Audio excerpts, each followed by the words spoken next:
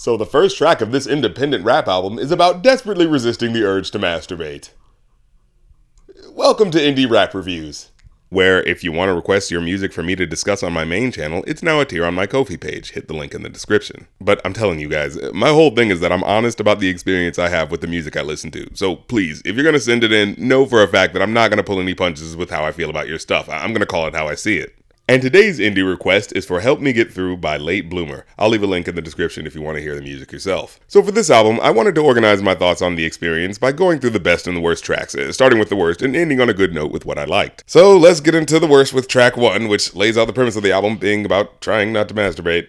One main reason I'm attempting to complete this project is so I don't masturbate. I thought today And just on a personal level, it's like, god damn it, I open things up for more indie music, and the first thing I get is this. Like, gee, thanks for the imagery. every time I grab my bag and splash away. Oh my god, stop making me think about it. But okay, on a certain level, I can understand the starting place of the topic, uh, laying out how he's trying to be a more disciplined person and practice self control so he can do more with his time and ultimately his life than just jacking it all day. It's these lines that get into a bit of murky territory. I can't Cause first of all, it turns my thoughts to women. To thirst and wanna hit it. That ain't love, that's just busy. Cold realm based level selfish behavior. Like, first off, that cheat rhyme with the unfinished word that barely fits the rhyme scheme, that, that shit just burns my ears. For real though, how you gonna request the rap critic to review something and that's in the first eight bars? Come on, son, you know I'm not feeling that. But to what he's saying here, it throws me a bit because it seems like he's saying he doesn't want to jack off to women because doing so makes him not respect them. I can't now. Cause first of all, it turns my thoughts women. To thirst and wanna hit it. And this feels like a mental trap a lot of well meaning dudes fall into, where they think, well, if I jerk off to her, then I'm just treating her like a sexual object. But honestly, that's not something to beat yourself off over. I mean, beat yourself up over.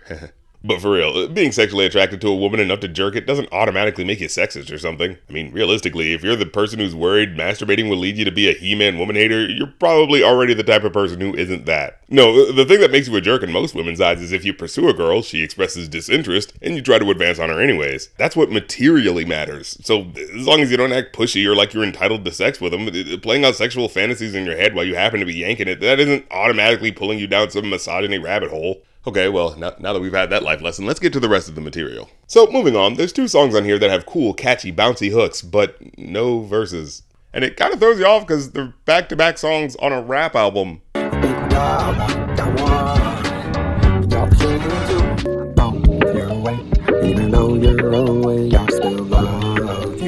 And like I said, they're great songs that sound good, but when there's two songs in a row on a rap album with no verses on them, it, it kind of comes off like you forgot to record them. And while I don't mind super short songs, some of the other songs with rap verses will have like one eight bar verse that was clearly freestyled and as a whole maybe has like one or two clever lyrics. So people can see how I rise. Better yet, see how I raise. Even better, see how I roam.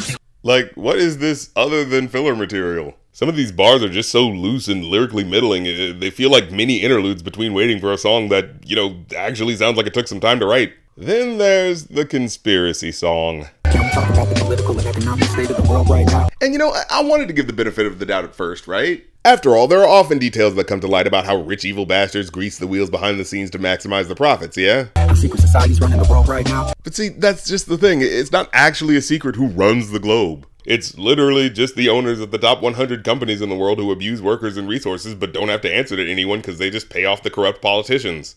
It's really not that deep. Have you ever heard of Bill Cooper? He predicted 9-11 months before it happened. So I decided to look this guy up because I wanted to see if, hey, maybe he's some dude who was actually speaking some truth to power about social injustice. And the first thing I found is that his book copied a chapter from another book that rebranded a conspiracy about aliens to be about Jewish people so it would catch on by stoking people's anti Semitic prejudices. Fantastic. He predicted 9-11 months before it happened. Yeah, the thing about that is that it's total bullshit, though. Like, even the Reddit conspiracy theory boards I went to just to double check what folks were saying had to admit he never mentioned the date of the attack or anything about airplanes or the Twin Towers. He just said that Osama bin Laden, an already well known terrorist, was gonna do a terrorism. How much of a prediction is that? You might as well believe Simpsons episodes are predicting the future. At least they got a president, right? God, please let the first female president be named Lisa, who has a brother that talks her into legalizing pot everywhere.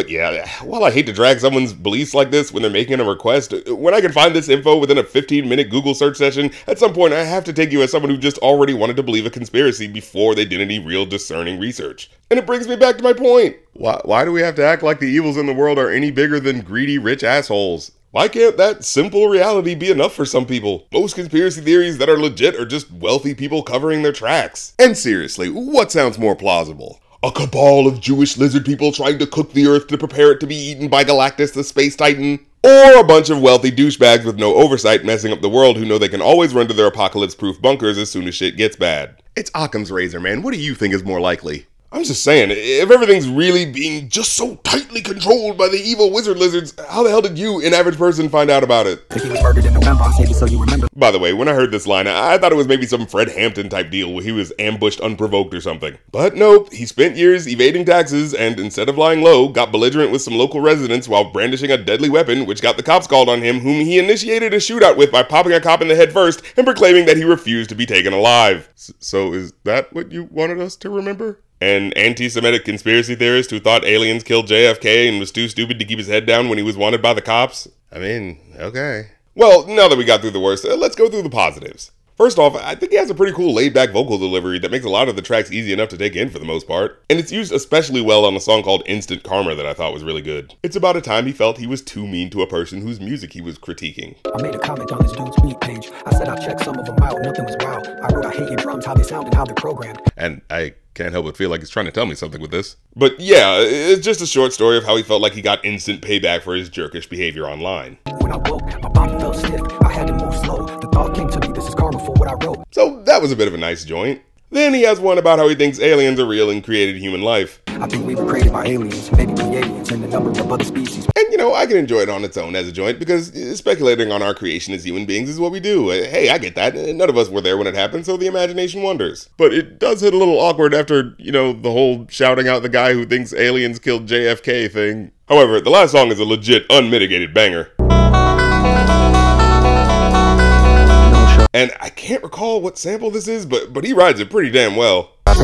To my labor, juiciest flavor. Ooh, see you later. Coolest refrigerators, avoiding the drama, joy over trauma, love in my heart and light in my childhood. Then we gotta drop bad habits, have and time passing like flashing. Fast as he belts was the fastest we melt. And while he does mention jacking it again, 21 straight days resisted for 18. It's actually kind of respectable how he lays it out, illustrating how even though he might have failed one or two times at his goal of not jerking it the whole 21 days, he still counts it towards his perseverance that he did his best and was willing to get back on task after messing up. But my perfectionism is fading as long as I put forth the effort. I And I gotta say, I like that as a message. That it's not about being automatically perfect at something on your first try, it's about having the impetus to improve yourself and willingness to get back up when you fall. So overall, I give the project a 2 out of 5. For an indie cat, there's pretty consistently strong delivery and production from track to track, but it's the actual lyrics, topics, and song structures that are just so frequently wonky and incomplete feeling. It, it makes for a constantly frustrating listen. Well, that's the episode. And hey, by the time you see this episode live, the next episode will already be available for patrons. So if you want to catch it early, head on over to patreon.com slash rapcritic and get access to that, plus exclusive episodes of my movie podcast and the Patreon RC Discord to chat with me and fellow fans. Can't do that? Eh, That's cool. If you enjoy my stuff and you want to support, leave a like if you like because it helps, comment if you have something to say because it helps even more, and hit the subscribe and the bell because that's what helps the most. So until next time, I'm the Rap Critic. You don't have to like my opinion,